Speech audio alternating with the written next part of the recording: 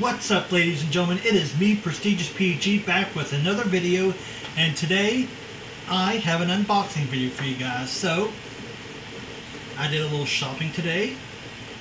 Now, what does this Sephora bag have to do with what I got today? Well, it's the bag that I was carrying what I bought today. So first, well, I'll get onto this here a little bit later. Today, I bought myself a little uh, graphic t-shirt today.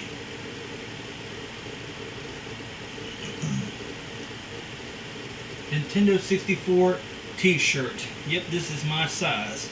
And it only cost me about $10 at J.C. Penney. So yeah, gotta get in the, get in the game here with a little classic Nintendo 64 t-shirt. Well, I know price tag on it, but it was on sale today, so yeah. But that's not all I got.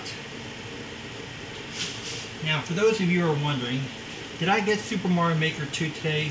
Well, unfortunately, no, because I'm going to get that later on in the year. But what I did get today was Saints Row the Third for Nintendo Switch. So yeah, I've played this before on the on the Xbox 360, and I was you know really wanting to play this once again on the Nintendo Switch. And it's the full package that comes with Genki Bowl 8, Gangsters of Space, and um, The Trouble with Clones. So yep, um, about to go uh, roll deep here in uh, Steelport again. So yeah, here we go. So yep, that's pretty much my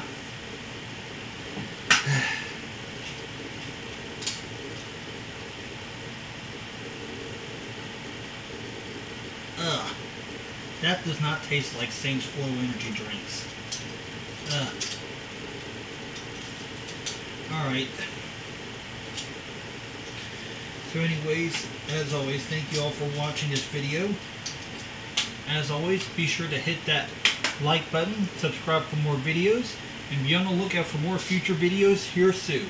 So once again, here's what I got today. And as always, this has been Prestigious PG saying be prestigious, stay prestigious, and I'll see you next time.